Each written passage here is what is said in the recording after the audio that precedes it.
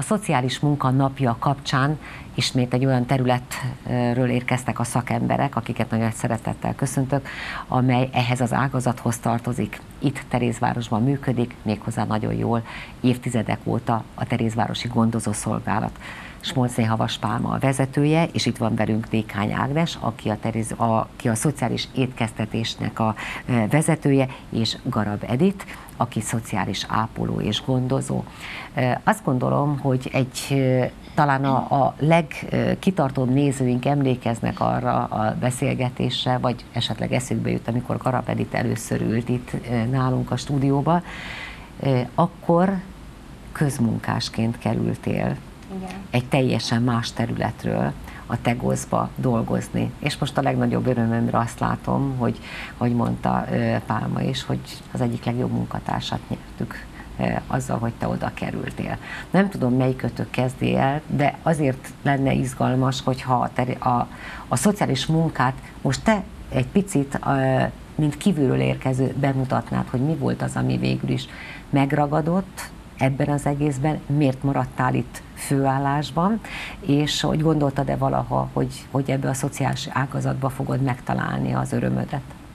Igen, teljesen máshonnan jöttem, egy eladói munkakörből, és mindig is gyerekekkel szerettem volna foglalkozni, majd ide kerültem az idős gondozásba, mint kívülállóként azzal tudom ezt elmondani, csak is azt, hogy minden nap szeretettel kezdem el a munkámat, mert nagyon sok szeretetet kapok az idősektől, ugyanúgy én is ö, kedvelem őket, és szívesen segítek nekik minden szükségleteikben, úgy a, az otthoni teendőikben, bármire meg tudnak kérni, ami, tehát vásárlás, ügyintézés, az ügyintézés, hogy szociális segélyeket, hogyha igényelnek, Szívesen. Egy picit Igen? belekérdezek, mert azt gondolom, hogy mindenki számára érdekes lehet az, hogy hogy is történik egy ilyen tehát, ö, családlátogatás. Mert ez tulajdonképpen olyan, mintha az unokám megérkezne nap mint nap, vagy hetente kétszer. Tehát ö, melyik, kit milyen gyakorisággal kell meglátogatni. Váltjátok-e egymást a többi gondozóval, vagy pedig mindenkinek megvan a maga saját családja? Hogyan fogadnak benneteket? Igen, megvan általában a saját gondozott nénieink, ugye a szabadságolások kivételével, Persze nagyon várnak, elsősorban fő a bizalom, amit először ki kell alakítani kettőnk közt, a családjukkal ugyanúgy tartjuk a kapcsolatot, és ez minden nap úgy történik, hogy reggel bemegyünk az irodában, megkapjuk a beosztásunkat, nagyon sok ellátott nénivel kell törődnünk nap, mint nap, sok kolléganőm is van, és megbeszéljük, hogy ki kihez megy, de persze vannak saját nénieink, és akkor ö, elindul a napunk, ö, felhívjuk őket, hogy milyen szükségleteik vannak, vásárlás. Tehát akkor telefonon illetve, megy elsősorban igen, az elsősorban telefonon, ö, vásárlás, illetve orvosi ügyintézés, ö, receptek, tehát akkor gyógyszertárba is kell menni. Mosdatni, öltöztetni, szoktátok-e ágyat húzni, tehát igen. ezek úgy beletartoznak igen. szintén a a legfőképpen igen, uh-huh. az a ö, szociális gondozás, ö, ö, fekvő betegeket, illetve akik nem tudják magukat ellátni egyedül, ö, fürdetésben, mosdatásban, testápolásban, ö, tisztázásban, mindenféleképpen igen segítünk. Tehát ez is beletartozik. Igen, beletartozik. Gondolom, hogy a főzést azt nem tudjátok megoldani, viszont itt van a szociális konyha vezetője. Hányféle ételt kell elkészíteni, hiszen gondolom, hogy nagyon sok idős ember nem eheti azt a fajta ételt, tehát sokféle feladatnak kell, vagy elvárásnak megfelelni, illetve rögtön arra is választ fogok kapni, hogy a szociális konyha az csak a tegoszon belül látja el az étkeztetést, vagy pedig helyszíre is van ételszállítás. Igen, igen, igen. A szociális étkeztetés ö, olyan szolgáltatási forma tulajdonképpen, hogy ö, amely körében ö, a szociálisan rászorult emberek ö, veszik igénybe, akik ö, koruk és egészségi állapotuk ö, miatt ö, esetleg fogyatékosságuk, pszichiátriai betegségük miatt, hajléktalanságuk miatt nem tudják maguknak biztosítani az ebédet, tudjuk biztosítani a diétás ebédet is. Ehhez szükséges a házi orvostól egy javaslat, ami után tudjuk ezt biztosítani. Például van epekímélős diétánk, a cukorbetegek részére is tudunk biztosítani, és természetesen a normál ebédet, akinek hány, nincs szükség. Hány fő részére főztök nap mint nap? Hát most jelen pillanatban körülbelül 300 fő, aki igénybe veszi tőlünk az ebédet, de ez összességében a házhozszállításos ebéd is benne van, uh-huh. és akik a tálaló melegítő konyhán veszik igénybe, helybeni elfogyasztással vagy elvitellel összességében. Rögtön itt van egy szám, hogy 300 rászorult van. A rászorultság tehát nem mindig az anyagi rászorultságot jelenti, hanem nagyon sokféle rászorultság lehet egészségi állapottól, pszichés állapottól függhet, és egyéb problémáktól is. Hogyan működik a tálalókonyha? Mert a házhoz szállítás az egy rész, nem tudom, hogy azt az ételt is viszitek ki, vagy pedig külön ez szállító, teljesen külön történik a szállítása. Van, a tálalókonyhát kik és milyen feltétellel használhatják? Tálalókonyhát hétköznapokon, hétfőtől péntekig vehetik igénybe az ellátottak. A tárgyi feltételek, eszközök biztosítva vannak, evőeszközök, külön nemenként elkülönített mosdók, és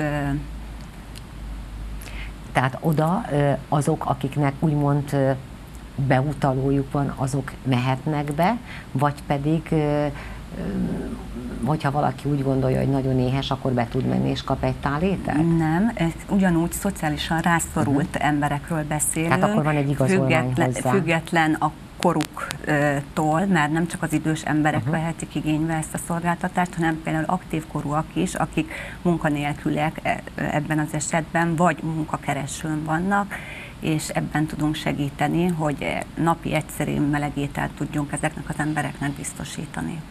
Nos, Pálma, egy-egy részterületet végighallgattunk, de az egész Terézvárosi Gondozó Szolgálat a te kezedbe összpontosul mik azok a fő területek, amelyek most itt nem hangzottak el? Szeretném megemlíteni, hogy van egy nappali ellátásunk, amit Terézvárosban úgy ismernek, hogy az idősek klubja. Nagyon sokszor jelen voltunk már, azt hiszem az életünk az nyitott könyv itt a Terézvárosban. Nagyon sokat szereplünk, rengeteg színes programmal várják a gondozónők és a mentálhigiénés munkatársak az időseinket. 50 férőhelyünk van az idősek klubjába, jelen pillanatban azt hiszem 44 vagy 45 helyünk van betöltve, tehát még várunk szeretettel további Terézvárosi lakosokat, akik szeretnének a klub tagjai lenni. Rengeteg programot nyújtanak, kulturális mozgás, vannak sportnapjaink, vannak filmvetítéses napjaink, vannak bálok, mulatságok, tehát rengeteg olyan program várja az időseket, amit, amit szeretnének és amivel aktív időskort tudnak megélni. Szeretném kiemelni az otthonápolási szolgálatunkat, ami egy NEAK által, a régi OEP által finanszírozott szolgáltatás, aminek a lényege az, hogy lerövidítjük a kórházi ellátást, és a beteget otthonában biztonságos körülmények között a mi gondozó, illetve ápolónőink, valamint a gyógytornász, a logopédus és a fizikoterápiás asszisztens keresik Tehát ez fel. független a gondozónőtől, Teljesen aki kimegy bevásárol, gyógyszereket beadja, a ápolási szolgálat az egy... Ez kifejezetten ez egy szakápolási, szakápolási feladatok dolgokat lát el, mint egy dekubitus kezelés, vagy stóma kezelés, vagy a gyógytornász különböző rehabilitációs folyamatokat végez egy stroke után, vagy egy csípő protézis műtét után, térdműtét után, koponyaműtét után. Nagyon fontos például a stroke koponyaműtét után egy-egy logopédiai ellátás, és nagy örömünkre szolgál, hogy van logopédusunk, és el tudja látni ezt a feladatot, és nagyon nagy igény is van rá. Ezen kívül Viszont bocsánat, hogy szabadba vágok, ez előrevetíti azt, hogy a gondozószolgálat nem kimondottan csak az idősek számára e, nyújt szolgáltatást, hiszen általában a stroke pontosan a 40-50-es, 60-as korosztályt szokta érinteni, tehát azok a, az aktív korúak is, akik éppen abban az időszakban e, valamilyen problémát szenvedtek el, akkor a gondozószolgálattól kapják meg azt a fajta támogatást. Így van, tehát volt már 20 éves ellátottunk egy koponyaműtét után, akit meg kellett tanítani újra beszélni, uh-huh. járni. Nagyon sok aktív korú sztrókos betegünk van, akit meg kellett tanítani ugyanúgy járni egy-egy ilyen agyi történés után. Széles skálán vagyunk, hogy kit látunk el, és az otthonápolási szolgálat nagyon sokat tud segíteni abban, hogy minél hamarabb újra a munkavilágába vissza tudjanak illeszkedni az ellátottjaink, illetve betegeink, és nagyon szép eredményeket érnek el. Olyan fantasztikus élményekben gazdagon jönnek vissza, például a gyógytornász, amikor sikerül felállítani egy nagyon régóta sztrókos beteget, és sikerül újra elkezdenie járni, megtanítják őket beszélni, tehát fantasztikus élmények vannak, és hát nagyon nagy szerepe van ugye a sebkezelésnek, hiszen a kórházakból időnként azért előfordul, hogy dekubitusszal érkeznek haza, vagy fekélyes, lábszárfekélyel, és hát az ápolónőink fantasztikusan ügyesek, mert nagyon nagy sebeket tudnak eltüntetni és egy fájdalommentes életet tudnak utána élni a betegeink. És akkor itt rögtön szóba került az ápolónő szó. Tulajdonképpen ezek az ápolók szociális munkások, akik ott dolgoznak, vagy nem?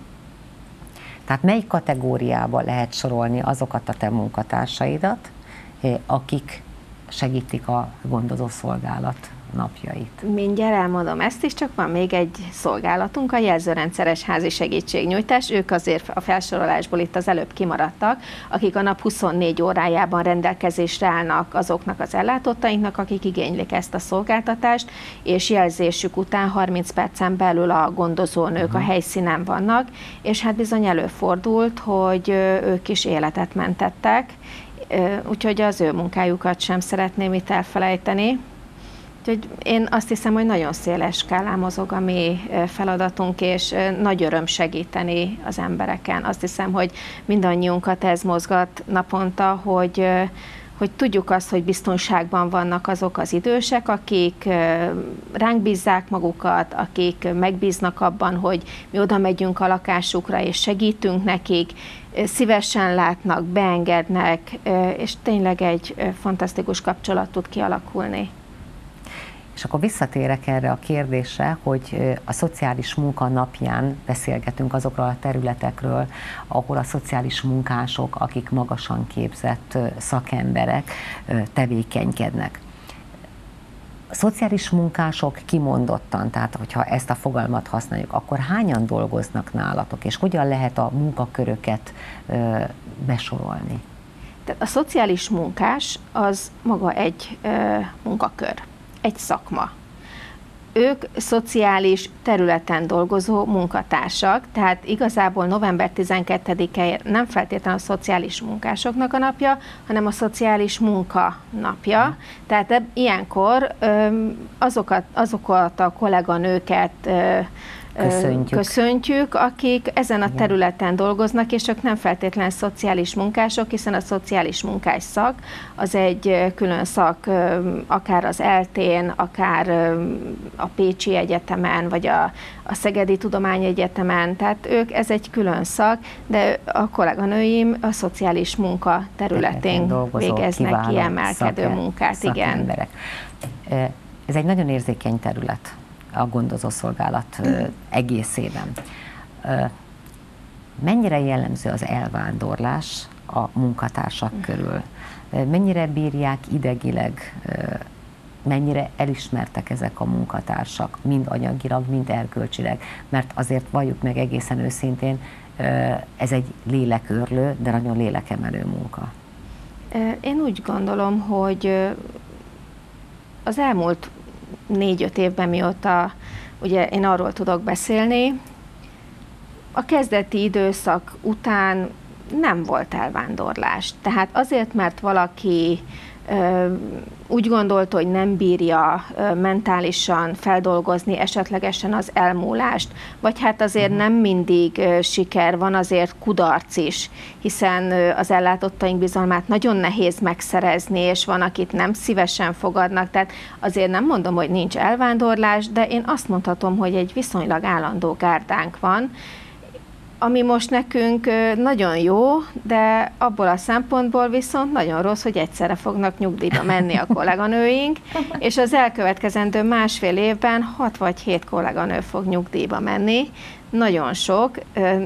Várjuk a fiatal, lelkes gondozónőket, szociális munkaterületén elhivatott jövendőbeli kollégáinkat, hiszen pótolnunk kéne, de nagyon nehéz olyan tudást és olyan ö, szakmai elhivatottságot, elhivatottsággal rendelkeznek a régen itt dolgozó kolléganők, hogy nagyon nehéz lesz őket pótolni. Mi, ami szép ezen a területen? Akkor most nézzük meg. Beszéltek uh-huh. róla? A felemelőt mondanám, ami ebben a munkában a felemelő, hogy az eltöltött időt, amit az idős nénivel töltök, megpróbálom ö, neki ö, boldoggá tenni, úgymond, ha mondhatok erre példát is, hogy éppen belépek az idős néninek az ajtaján, és akkor jaj, Edithként éppen most akartam meghalni, és akkor mondom én erre, hogy tessék még várni, míg megfürdünk. és akkor ebből olyan hatalmas nevetés uh-huh. tör ki, hogy a néninek már el is felejtett, hogy mit szeretett volna. Visszajön az életkedve, hogy ott van vele Igen. valaki egy mosolyogós Úgyhogy nagyon, nagyon várjanak minket, hogy mikor megyünk már pontosan ezért. Volt olyan idős bácsim is, aki nagyon súlyos beteg volt, és én nem tudtam erről igazán, csak azt tudtam, hogy beteg, és a kolléganőm, aki szokott hozzá menni, én helyettesítettem, és akkor mondtam, hogy hát itt harc megy a bácsiért, hogy ki jöjjön hozzá, mert annyira kedveltjük őt, uh-huh. és neki ez olyan boldoggá tettük a napját ezzel uh-huh. az egy mondattal, hogy harcolunk érte. Uh-huh. Úgyhogy, szóval megvannak ennek igen, a munkának igen, a inkább, inkább felemelő, felemelő mindenféleképpen. Uh, egészen más a kapcsolat az ellátottakkal konyhán keresztül. Mi az, amit te tapasztalsz? Én annak tudok örülni, ha esetleg bejön egy kérelem, akár szóban, akár személyesen, és kétségbeesve keresnek fel minket, hogy nem tudják megoldani ezt a meleg étkeztetést, akár a, tényleg a koruk egészségi állapotuk, vagy munkanélküliség miatt nem tudják, megoldani, és amikor mi elmondjuk, tájékoztatjuk őket, hogy milyen lehetőségünk van, hogyan tudjuk, milyen módon tudjuk biztosítani az ebédet nekik, akkor én azt mondom, hogy ez, ez a segítség, ez egy számomra egy öröm, hogy ennyivel is tudunk segíteni a mindennapjainkban, akár időseknek, akár aktív korúaknak. Pálma, tiéd az utolsó gondolat. Az utolsó gondolat, én azt hiszem, hogy Terézváros önkormányzatának jó voltából mi a kolléganőket tudjuk támogatni, és mi minden segítséget meg tudunk adni esetlegesen ahhoz, hogy ők a szabadidejükben egy kicsit felüdüljenek, hiszen a kafetéria rendszerünk az olyan széles körű, hogy a, a kolléganők egész évben azért a pihenésüket ebből biztosítani tudják, tehát egy biztos segítséget és egy pontot tudunk adni. Ezen kívül Valóban azért a szociális terület egy alulfinanszírozott terület, jóval alacsonyabb az a bér, amit a szociális ápolók és gondozók kapnak az egészségügyben dolgozó ápolókhoz képest.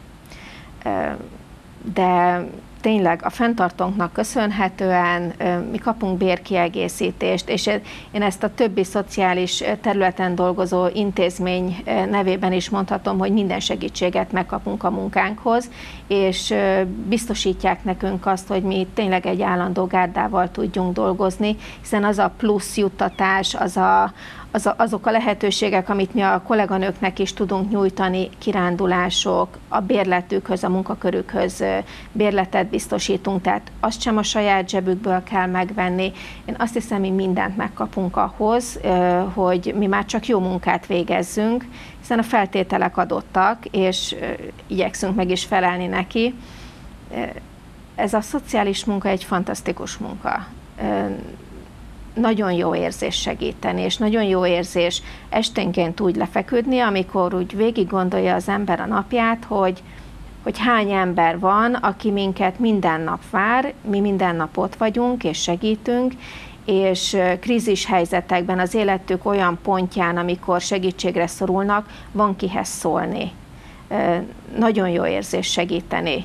Én sem ezen a területen kezdtem, de örülök, hogy ide tévedtem, és örülök, hogy ilyen kolléganőkkel tudok együtt dolgozni, és hát én szociális munka napján engedj meg, Lila, hogy megköszönjem a kollégáimnak a munkájukat.